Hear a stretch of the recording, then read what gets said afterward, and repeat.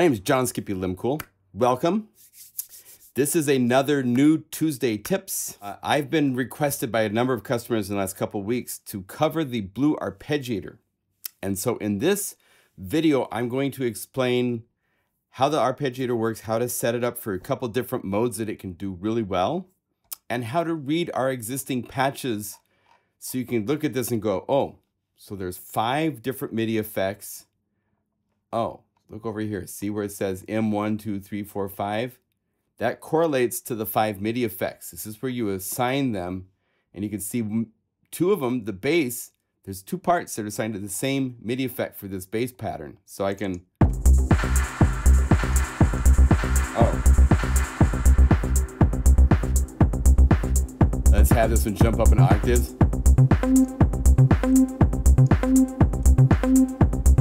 So it's really easy to play with and, and mess things up. If I want to go over here to the arp pattern, uh, we have eight real-time knobs, and I've just got a Maschine Jam over here that's letting me play with parameters inside of Unify. It's very, very fun. So if you don't have something with real-time faders, you should get even a little Korg Nano controller, or something like that. It's, it's really cool. A lot of the patches over here, there's all sorts of things assigned to more than just your modulation wheel. So just, just FYI. But I want to show you that, that part right here. This is right here, M3. That means if you look up here at M3 and double click this ARP, this is the ARP pattern that's being played. And this is one where the scale step is important.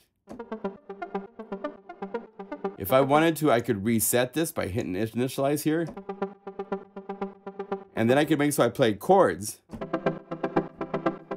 And instead of playing chords, instead of just playing notes, still got that chord, but you can go over here to key select, and I can actually have it play different intervals of the chord that I'm playing.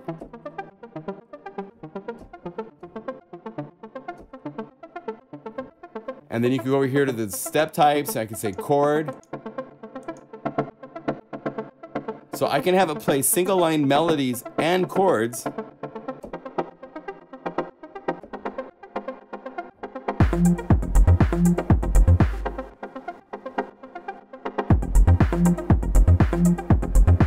It's it's very fun to mess stuff up. And then when you've got something that you like, save it as your own thing and use that to write a song. So you get the idea. Uh, it's it's very fun. We're going to start from scratch in a minute. I'm going to show you a couple other examples. If you go here to like some of the BPM pads, here's where there's a nice big pad.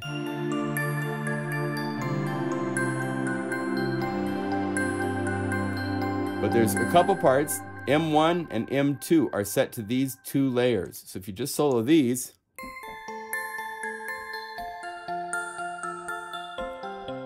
right?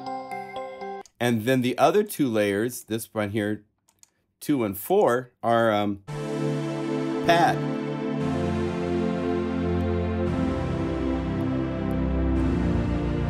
And you combine them together and you get something pretty cool.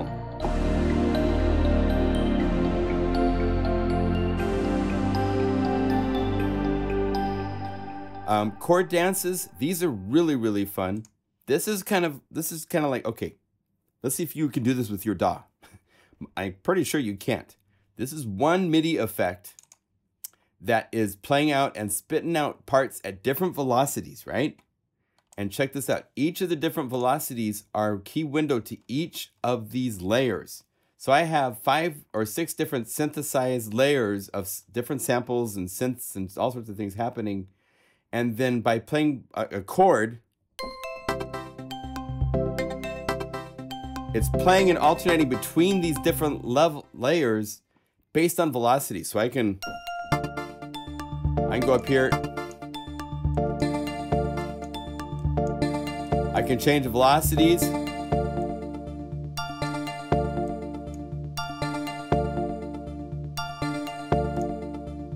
Right? I can have some do chords.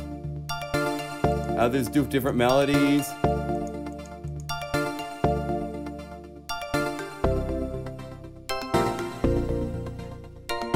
That's just super, super crazy power from a single ARP controlling six different layers. There's another one that I added that I got to show you real quick. And that's the amazing knob switcher. This is where you're using the mod wheel or this knob right here where you can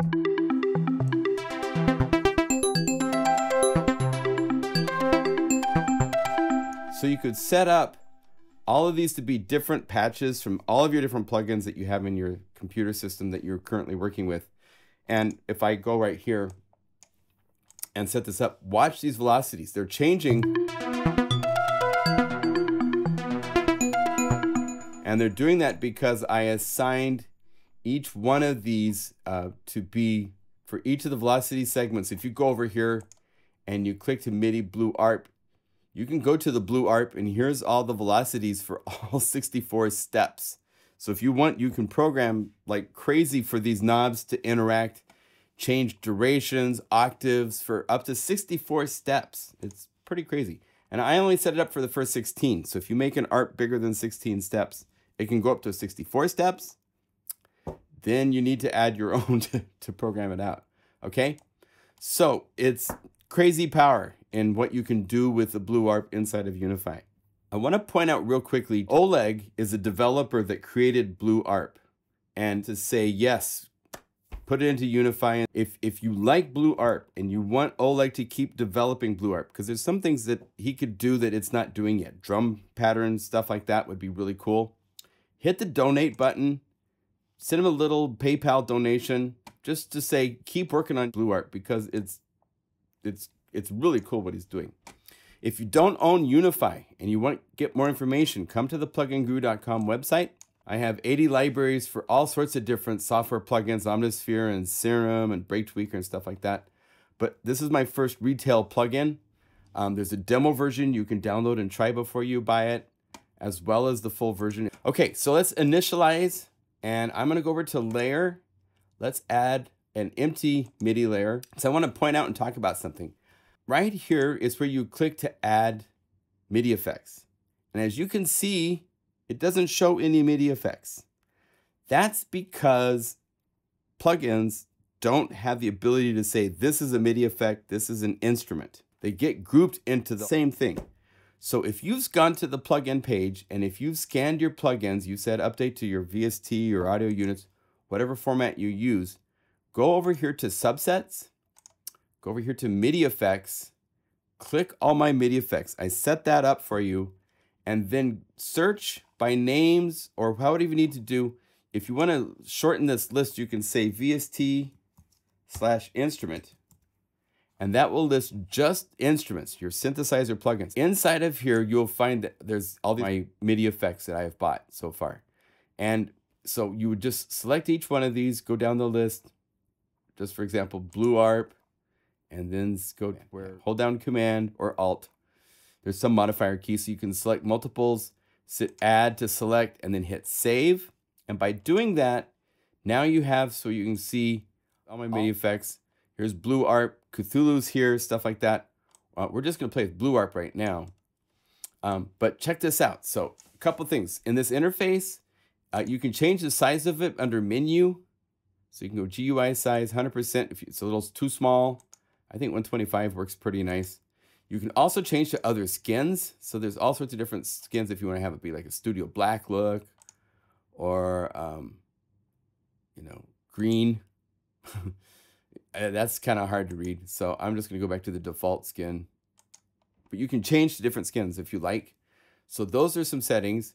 Now, it's currently, uh, I've, I've had email from a number of people that have gone, I have added a MIDI effect and I have a layer. Let's say that we go over to Unify to Guru Sampler and let's have this be replaced with something like maybe some sort of nice little plucky synth, right? So, but Blue Arp is, is lighting up, but I don't hear it. Why don't I hear it? Well, that's because you haven't connected it. You have to tell Unify what layer is assigned to what MIDI effect because we can have unlimited numbers of MIDI effects and unlimited layers. So you have to connect them. So right here where it says in, right here, and let's say I'm going to say there's going to be a happy synthy arpy, right? By doing that, when I click on in, it now says happy synthy arpy for this layer for, for MIDI effects. So I know once I get a big, I got a kick and I have a hi-hat and I have the other things, you'll want to see in that list so you can make sure you got the right part to the right layer, okay? By doing that, hey, it works. Isn't that exciting? So what it's doing is this. It's playing whatever note I play. Let's get the key so you can show it. If I play a chord, it's not doing anything. That's because this is set right now. If we go to key select, we can actually choose which of the up to five notes of an arpeggiator. So I'm going to play five notes. Oh, and notice Blue Arp doesn't listen to sustain.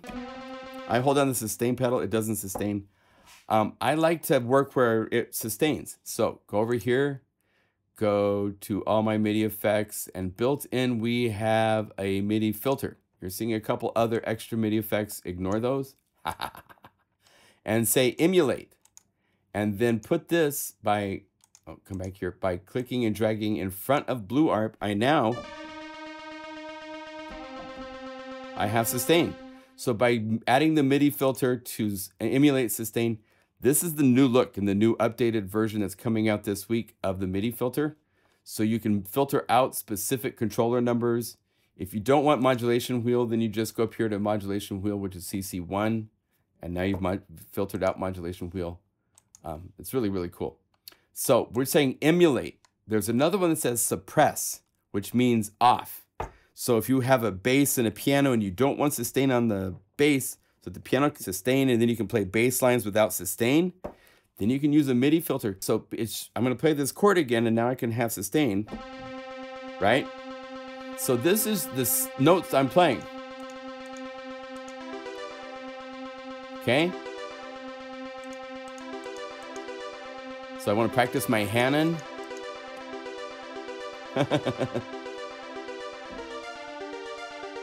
which is cool with this because it's letting you play whatever chords you play.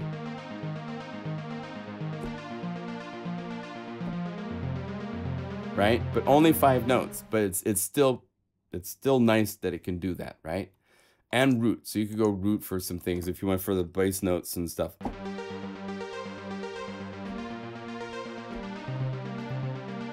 You also have octaves. Which is cool because it's still playing in the intervals of whatever notes you're playing. We haven't added any additional notes.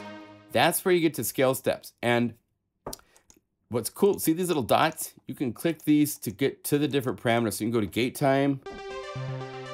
Let's do this. Let's have this have no sustain. Just a little bit. So I could say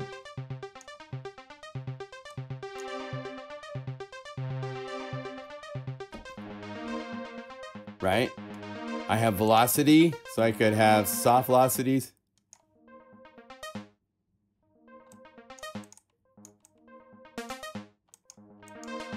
So you have all sorts of play things to play with. And just by clicking the little dots, you can see the settings. Now there's another way to do arpeggiators. Um, if you go to step type, there's chords. So if you say chords, right? And if you say normal for some of these notes,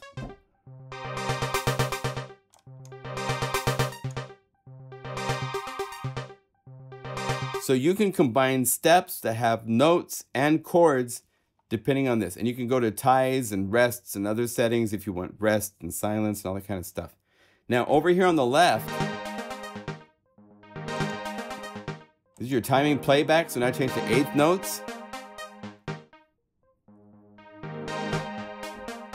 The number of steps, so if you want it to be shorter for some sort of little techno phrase.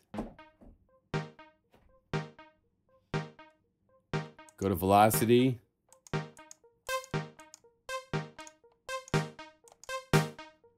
Right?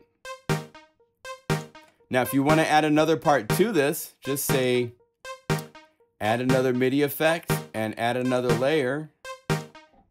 And let's have this one be reassigned to some sort of like a DX, maybe the plucked bank.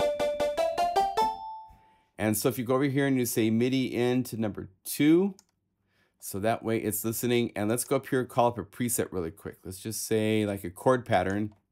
So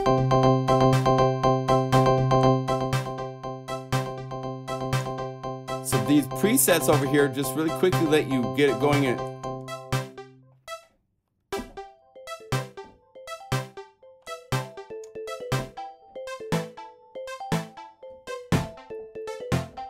As you can see, this is one where it's staying fixed. It's on fixed notes. And I should point out that on top of all this other fun stuff you can do from making from scratch, there's also presets up here. And with the new version that's just coming from Unify, with the latest update, you can actually click in the name and it won't crash on the PC. Um, other versions before this, it would crash, but it doesn't anymore. You can also click right here for the arrows on both PC and Mac and it won't crash. and get to all sorts of presets. So if we wanted to, let's do this. Let's mute this layer and just play this top layer here. And we can just go through some of the patterns. As you can see, there's chords.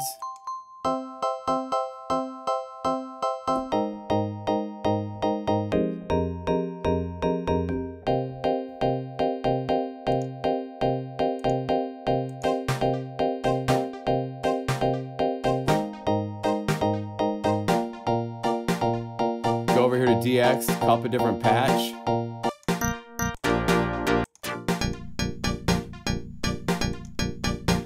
Ah, that's kind of cool, but let's have it up an octave.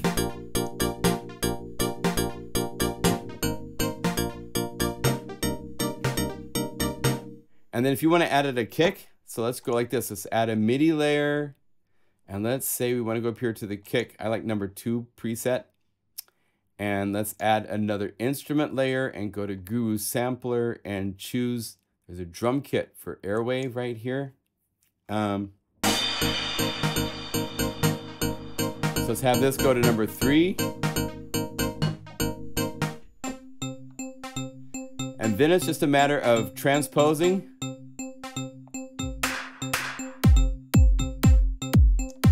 And you'll find where it transposes the right note.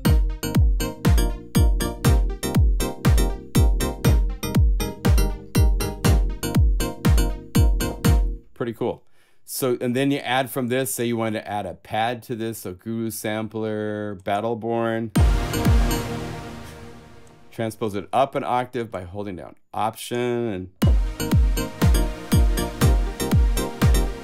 and then to get that modern vibe, you have to go to Unified, Dynamics, Pump House, uh, load a preset. Let's go over here to the presets and say we want to do a really cool, just regular side chain. So say love that.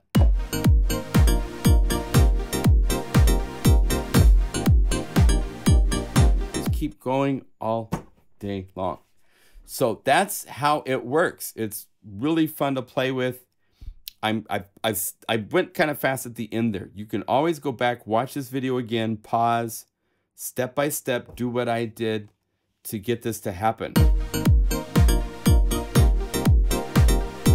It's so much fun. Okay? So that is a nice long healthy Tuesday tips. Um, I think I covered everything I wanted to show you. It's really important to remember that the sustain pedal doesn't work on the arpeggiator unless you add a MIDI filter before it. And a lot of these presets over here on the MIDI effects, I've already done um, a MIDI filter in that preset because our layer presets can store as many MIDI effects as you want. One last thing. Say that we wanted to go over here. Let's go to instruments, go to Sampler, let's go to layer preset real quick. Let's go back to that. Um, let's just say plucky Klamath because that's just really. Say you want to use another MIDI effect, not just the, the blue ARP. Say we can go blue ARP, empty layer, go over here, and uh, as I showed you, you can now, by, by going to this page here and setting this up on the MIDI effects page, I've added Cthulhu, right? So I'm going to go to this list. I'm going to say all my MIDI effects. And there's Cthulhu. I'm going to turn off the chords so it's just the ARP.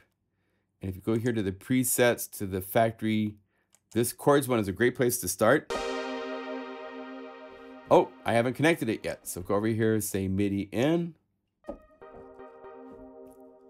And again, it doesn't listen to sustain. So we'll go over here. We can say add a MIDI effect built in uh, right here, MIDI filter. And this time we're going to say emulate the sustain. And you have to put it before Cthulhu. And now sustain pedal works. So open up Cthulhu. Here's your different settings, velocity.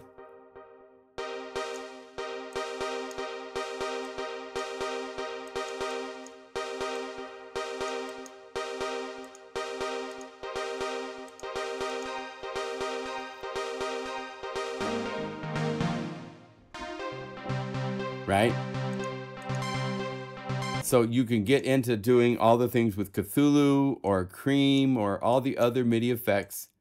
Um, I could go other MIDI effects and say Cream. And here's all the different presets. So I can say.